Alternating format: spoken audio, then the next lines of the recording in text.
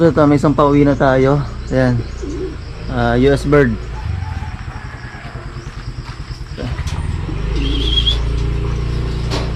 Pagigising ko lang.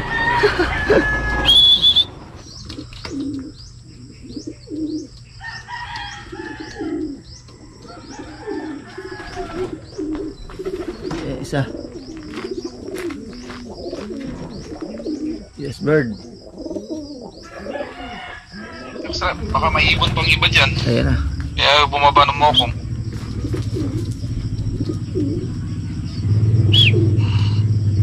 Ang ganda pa rin ng balik niya. Ang ganda ng tayo niya. Yes, sir.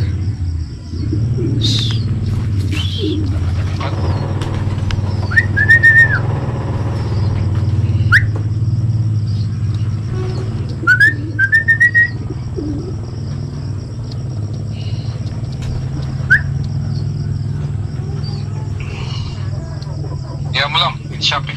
Oh, hindi pa pala pumasok. Ko pumasok na. Di ba, sir? Yeah, kaya mo lang. Nandiyan na eh. Nandiyan na sa pinto. Kaya mo lang. Para marelax. Ayos na. Ayan. Okay, dalawa na. Pauwi natin. Bully. Ayan, ako ni Bully. Kapatid ni Bully. Ayan. Kung naalala nyo, yung south.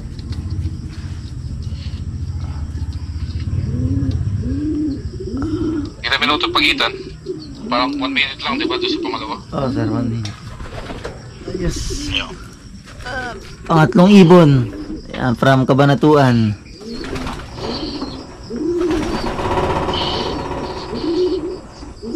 Ayan, kausap. Oh. kausap ko si sniper eh.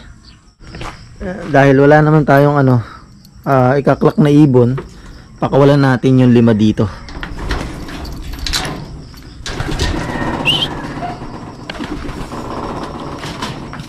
Hindi sir. Hindi, hindi pa sir kakarga yun.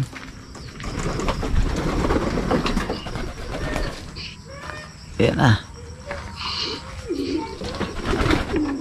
Yun. Pasok agad. Apat na. Mga kalapatids. Ating pauwi. Yun. From Kabanatuan lang naman. Kaya malapit-lapit lang yan. So, tatlo pa. Ang inaabangan natin. At ayun na nga mga kalapatids. Uh, nakompleto nga sila. So, hindi ko na video yung ilang pauwian nung ibang nahuli. Kasi ah, meron ako nilakad. Then naabutan ako ng ulan sa daan. Kaya hindi ko na monitor yung pag-uwi ng iba. So, buti ah, nakompleto. So, malapit nga lang naman. Pero, syempre, ah, ano nila eh, first time nilang ah, kakarga sa maraming ibon. Kaya anong nangyari nung pauwian, eh, paisa-isa. So, medyo ano sila, ah, sabihin nating ah, na-shock sila, ano, kaya hindi sila bumababa agad. Pero sa ganun pa man, eh, pumapasok rin naman agad. Yan. So, ngayon mga kalapatids, ah, magpapaligo ako para mamaya, in case na maganda pa yung panahon, eh, makapag-toss ako kahit ilang kilometers lang paghahanda sa susunod na training. Ayan. Okay. So, may asin. Ayan. Nilagyan ko asin.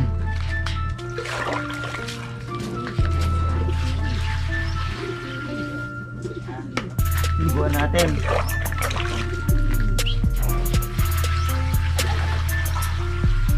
Ayan, maliligo na yan. Oh. Sabik na maligo yung mga yan eh.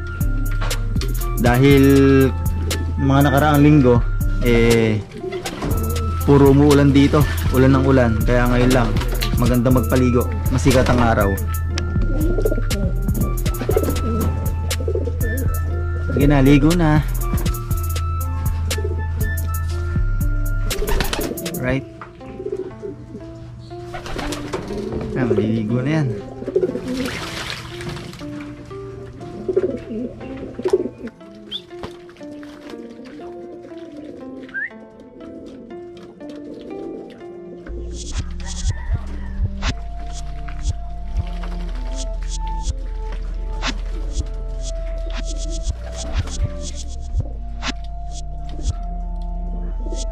Three hours later.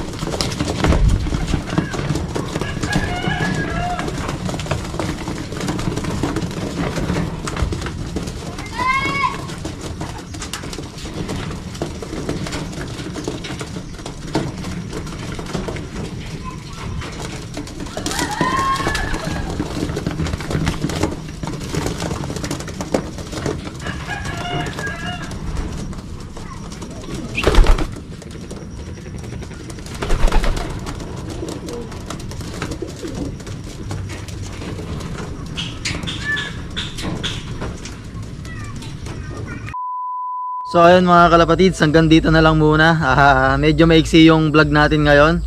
Kasi ah, yun nga, hindi natin naaabangan yung mismong pauwian ng tatlo. Dahil nga meron tayong nilakad ano. So hanggang dito na lang muna ulit mga kalapatids, mag-update ako kung kailan yung susunod na ah, loading namin ano. Okay, so babatiin ko na muna yung mga nagpapabati. Binabati ko si Dark Angel Love TV, ayan. Kay Lim Rolly ng Sampaloc, Manila. Kay Martin Love TV, Rosalyn Abnyo, ayan. Kay JM Intal Love ng Pampanga. Marlon Gahol kay JGH Love TV. So ayun mga kalapatids, maraming maraming salamat ulit sa pagsama sa araw na to. Like, share, comment, and subscribe mga kalapatids. Maraming maraming salamat.